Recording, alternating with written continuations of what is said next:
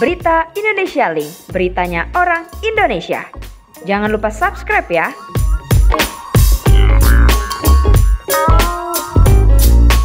Pedangdut Saiful Jamil dipastikan akan bebas dari lapas Cipinang Kamis 2 September 2021 pagi.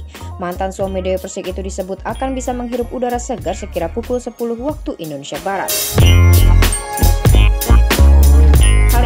Dikonfirmasi langsung Kalapas kelas 1 Cipinang Tony Nainggolan.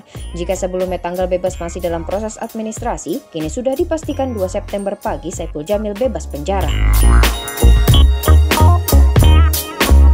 Menurut Tony, masa hukuman Saiful Jamil sudah habis. Oleh karena itu, besok mantan suami Dewi Persik ini bebas dengan status bebas murni. Sebelumnya, kakak Saiful Jamil Samsul Huda juga mengabarkan kebebasan Saiful Jamil akan terjadi di awal September. Bahkan artis 41 tahun ini sudah mendapat beberapa tawaran pekerjaan sebelum kebebasannya. Samsul juga mengaku sudah mempersiapkan penyambutan bersama teman-teman jelang kebebasan sang adik. Ia juga menyebut ada beberapa partai politik yang bahkan menawari Saiful Jamil bergabung namun tidak disebutkan namanya.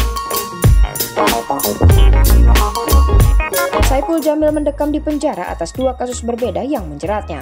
Pada tahun 2016 lalu, Saiful Jamil difonis tiga tahun penjara karena kasus pencabulan. Setelah mengajukan banding, Pengadilan Tinggi DKI Jakarta memperberat hukuman Saiful Jamil menjadi lima tahun penjara. Di tengah kasus itu, Saiful Jamil terbukti menyuap Paintera Pengadilan Negeri Jakarta Utara dengan uang sebesar 250 juta rupiah. Oleh karena itu, hukuman Saiful Jamil bertambah tiga tahun.